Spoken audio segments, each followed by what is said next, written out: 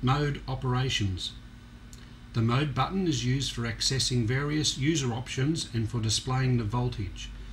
Mode selections are cycled by pressing the mode button momentarily. To return to standard operation, press the flip-flop button. Intercom volume. Rotating the volume squelch knob will increase or decrease the intercom volume. Intercom squelch.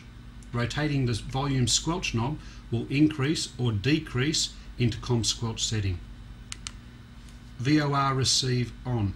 This setting allows reception in the frequency range from 108 MHz to 117.975 MHz. Push the function channel knob to activate between on or off. Rotating the knob clockwise will activate the general coverage option. This setting extends the receive range of the radio from 137 to 163 MHz. Press the function channel knob again to toggle the option between on or off or rotating the function channel knob anti-clockwise will return to the VOR option screen. Voltage shows the current voltage. Side tone volume adjusts the level of sound that you hear through the headsets when transmitting.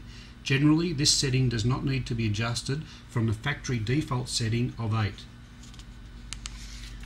Scan channel.